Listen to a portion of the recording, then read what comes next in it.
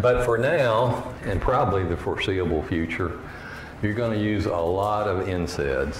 And NSAID stands for non-steroidal anti-inflammatory drugs. All right, which you'd think just by the name would mean all this lecture that I've talked about, because I've talked about control of inflammation by anything but a steroid. But when you say NSAID, what you're really talking about is a cyclooxygenase inhibitor.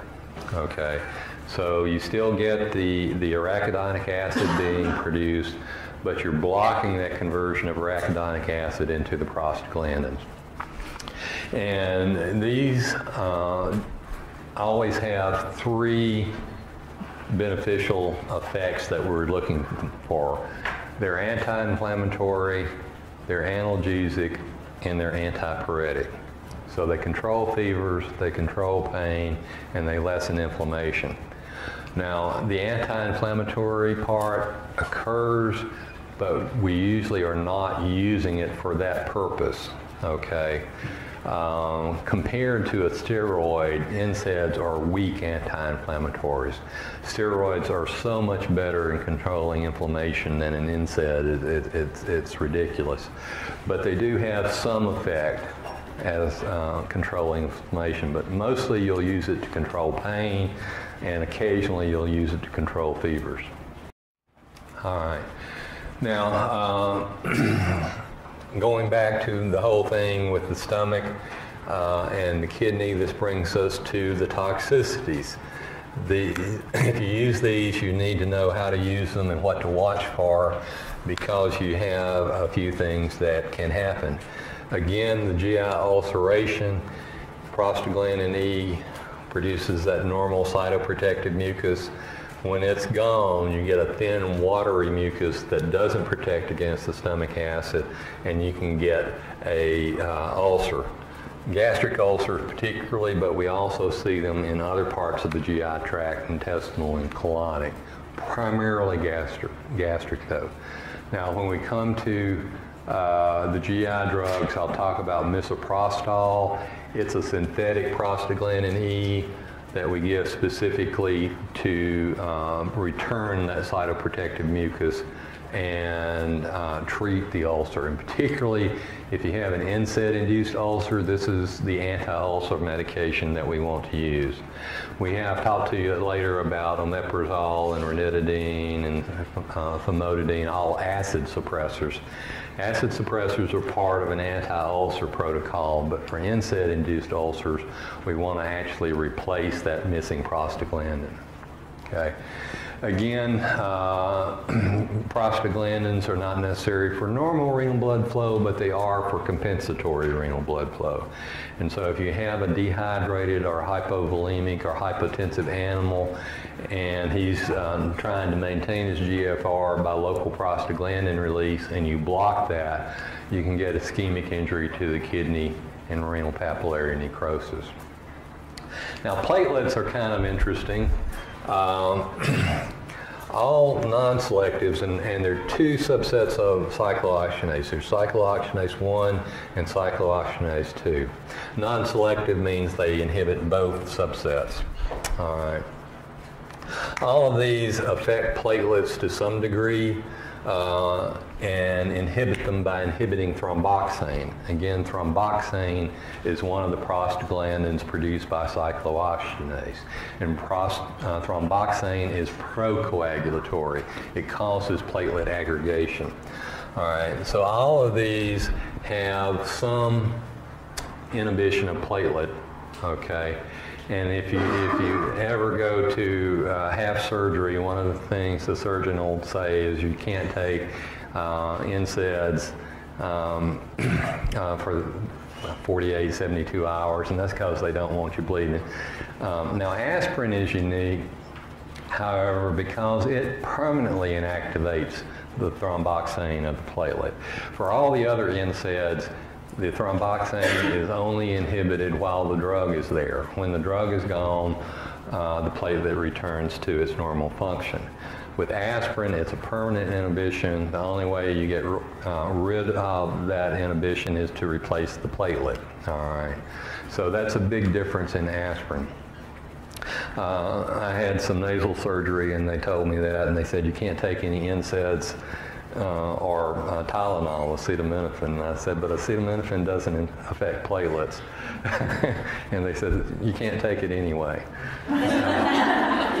this was the, the, the nurse telling me this.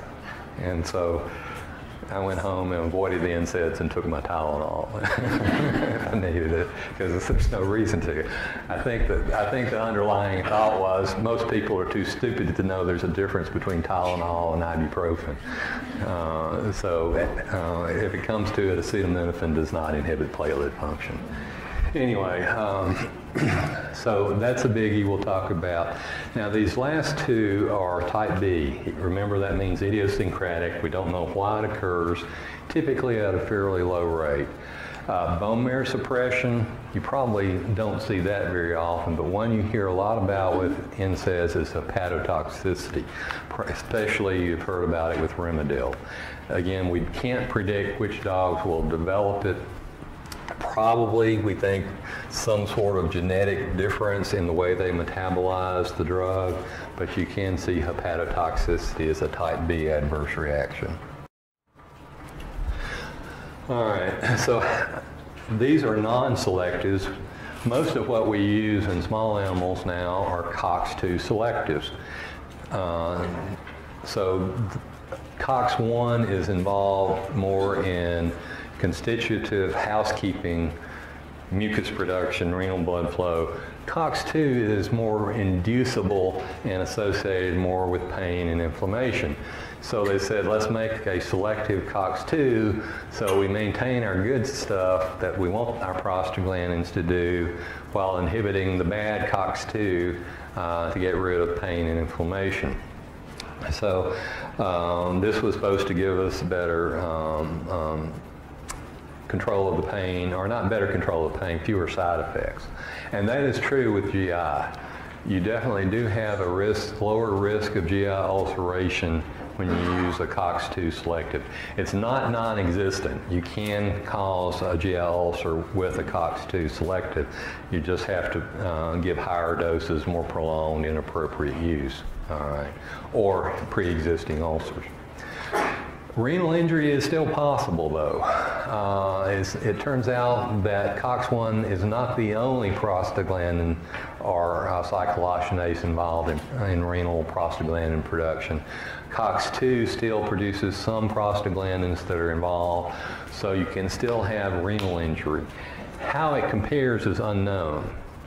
I suspect it's a little less than COX-1 non-selectives, uh, but we still worry about it. Now, platelet function in man, it's exactly the opposite. In man, it inhibits the endothelium prostacyclin, and this is our normal anticoagulant from the endothelium. So it actually winds up being procoagulatory. You probably have seen the ads for Celebrex. Celebrex is uh, celecoxib. It's a COX-2 selective for man. when these first came out, there were at least three COX-2 selectives. And then people started having heart attacks. So they removed two. Celebrex is the only one left, and it carries a warning about this very thing. Okay, so um, uh, because of this, uh, COX-2s actually seem in man to be procoagulatory. Uh, Dr. Mackin's group has looked at it and it, it's unclear.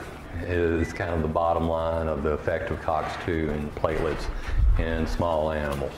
They've had kind of conflicting results, so uh, um, pretty variable and unclear.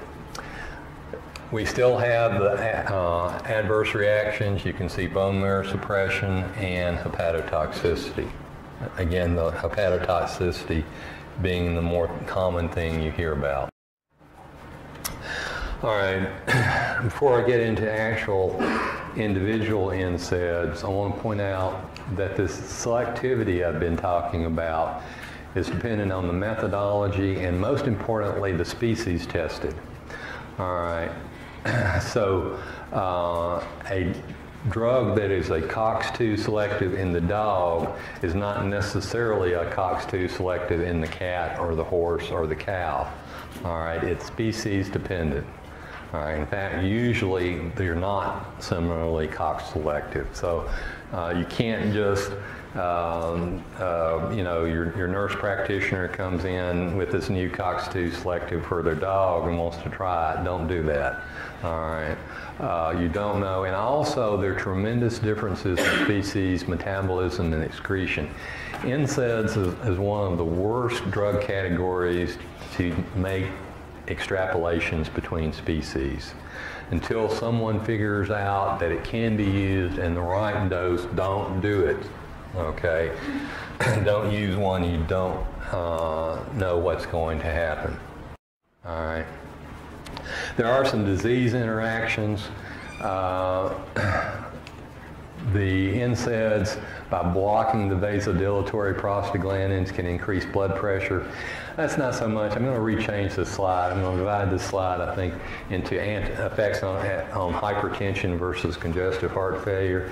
The lack of vasodilation affects more blood pressure, and you can see here they can blunt the antihypertensive effects of ACE inhibitors. But uh, relative to heart failure, they can increase salt and water retention, again, by blocking renal prostaglandins that would normally get rid of sodium. Uh, and diuretics can be blocked somewhat um, by these mechanisms and it may um, predispose to hyperkalemia. Remember, spironolactone, the aldosterone antagonist, is called a potassium sparing diuretic. We really want to make sure that they don't get hyperkalemic. On all the other um, diuretics, on furosemide, we're concerned about hypokalemia. On spironolactone, we're concerned about hyperkalemia. You add an NSAID to that, you definitely want to monitor their, their potassium. Okay. And um, the NSAIDs have caused some falsely low total T4s, particularly bute and aspirin have done this. So you want to run free T4s or TSH. Uh, there have been uh, animals misdiagnosed as being hypothyroid because they were on an NSAID. So total T4s are okay for screening, but you don't want to make a diagnosis off a total T4, typically period, but especially if they're on an NSAID. Okay.